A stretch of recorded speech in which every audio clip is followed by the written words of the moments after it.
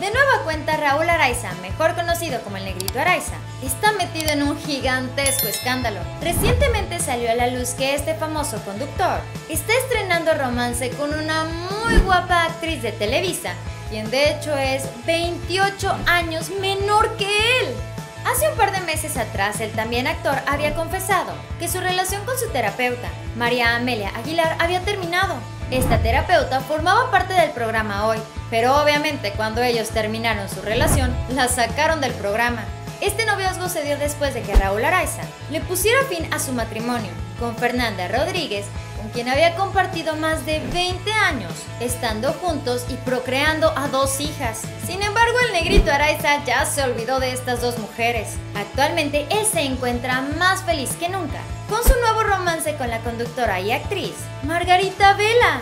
Literalmente Margarita le dobla la edad. Actualmente Raúl Araiza tiene 56 años, mientras que la guapísima actriz tiene tan solo 28. A través de su columna, el periodista de espectáculos Alex Capi dio a conocer cómo inició la relación entre ambos. Parece ser que en cuanto Raúl Araiza terminó su relación pasada, él empezó a tener interacción a través de redes sociales con la nacida en Colombia. Después de eso vino el típico, pues ¿por qué no te invito a comer?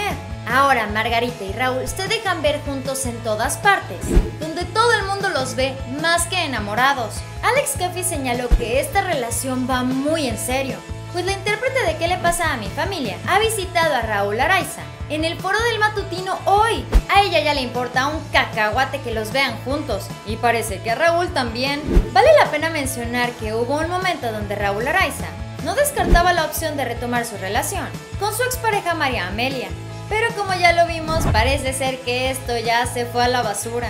Por su parte, Margarita Vela es una preciosa actriz colombiana que ha participado en diversas series, como Mi corazón es tuyo y Sin senos no hay paraíso. Actualmente, ella está participando en la novela de Juan Osorio ¿Qué le pasa a mi familia?